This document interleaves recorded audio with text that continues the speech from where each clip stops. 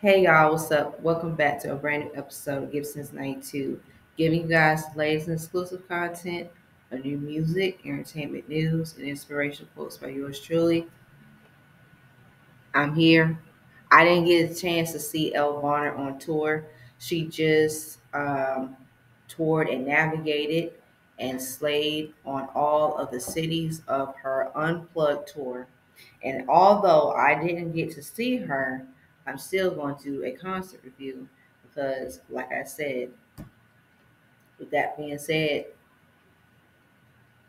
yeah. Um, overall, she has toured.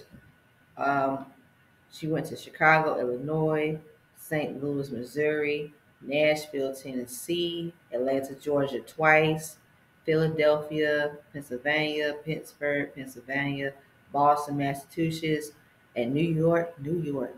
And I will say this Elle Varner, I'm excited for new music. I am excited for a new album. And literally, as a Elle Varner fan and part of the Ellevation, I will say this. I actually enjoyed seeing Elle Varner's concert. And even though I didn't get to see and go physically go to the concert, but I, overall I did get to see um, concert footage.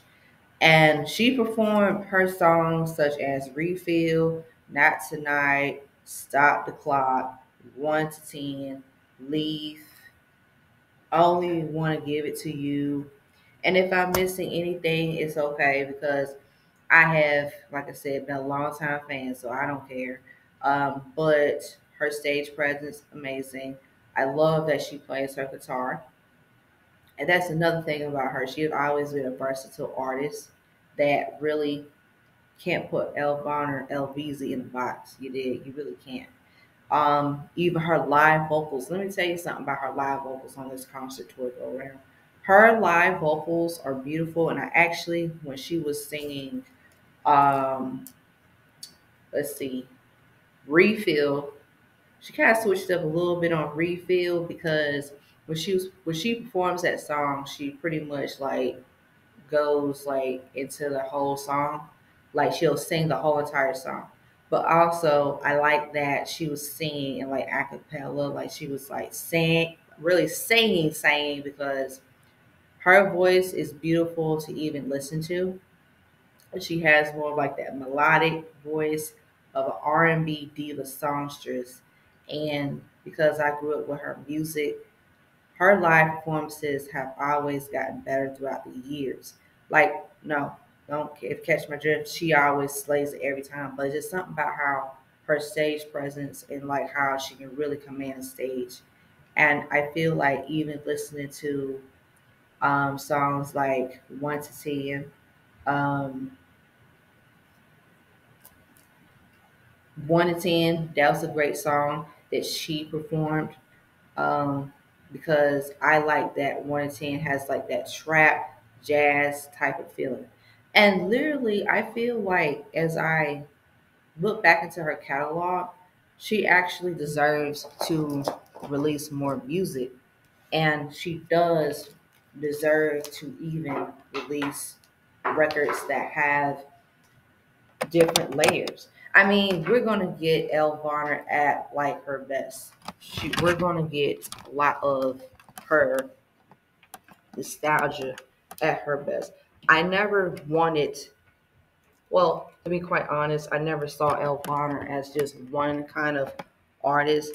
She's really the kind of artist that, okay, let me get my dress. She actually is one of those musicians that can't put her in a box. We already know that. But I literally, as I was listening to her music, she's more of that R&B, soul pop, hip hop, and acoustic feeling. That's what she is. And I'm just excited for new music from her. And even though I didn't get to see her in concert, I don't even care because I haven't pretty much, like I said, I kind of feel like this next album is going to be amazing because I already know it will be amazing.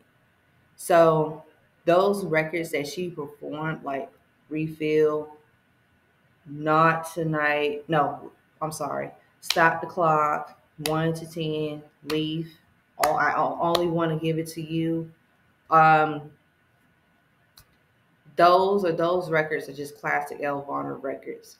Now, I shall say this. If she performed any of her new music, that's great. Good for you, sis. You perform any of your new music at your, you know, tour, on your tour, that's great for you because it's also gonna give you, like I said, it just gives fans a connection of like, oh, okay, cool, what's next? And I know sometimes it's like people when we don't really know when like releasing music, it's pretty much like it's going to be out for the right time. And that's what I love about musicians. I actually enjoy when the songs that they have played, you know, the songs like the hit songs or whatever songs, it really brings so much love and joy of the essence of music. So even though, like I said, this concert is more, it was more like, you know, sentimental. It was more full of joy, um, connections. Um, it was a lot of that really, you know, adventurous. And this brought a lot of people close together with the music. So that's what I really love about it. But other than that, I, I actually, like I said, I feel like Elle Varner deserves to have pretty much, like I said, a new chapter in her music, you know, world. And we, and when we as Elle Varner fans, Ellevation fans, we deserve to continue to connect with her with the new sound, a new. I wouldn't say, I would say like a whole new what she's been going through, and then it'll just be put into that brand new album. And when it puts into that brand new album, we're gonna be like, yes, yes, indeed, hands down.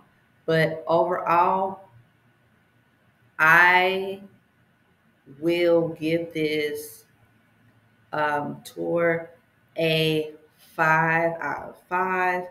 And I actually, like I said, will say this girl, we love you, Ellevation fans. Your fans rock. We rock everybody. We will support you. And with that being said, guys, share your thoughts and your opinions. You guys to see Elle Varner let me know down below. Um, and yeah, so guys, stay tuned next episode. GiftedSince92. Like, share, comment, subscribe down below. Hit that subscribe button, hit that notification button. I'm gonna give this to a five out of five because of course, duh. I mean, pretty much. So love y'all. Take care.